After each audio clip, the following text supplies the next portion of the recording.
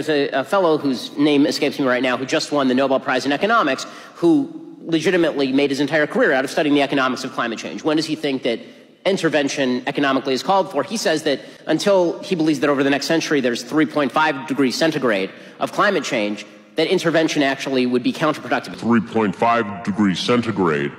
Okay, so I, I don't know the guy he's referring to, but 3.5 degrees. Now, that might sound small if to someone like Ben, if you haven't studied climatology, but 3.5 degrees in a century is colossal by geologic standards. So, for those of you who are new to the channel, my background's in geology, specifically paleoclimate science, which is the study of past climate change. To put 3.5 degrees into context, the difference between the present and the last glacial period was as little as 4 degrees Celsius. 4 degrees. It's about 4 to 6 degrees globally.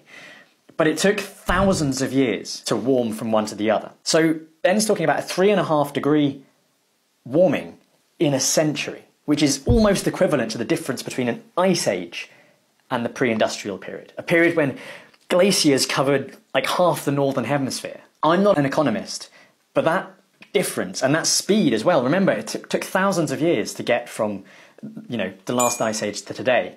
We're talking ten times faster or more. In fact, much more. Three and a half degrees in a century is like thirty times more. That level of change.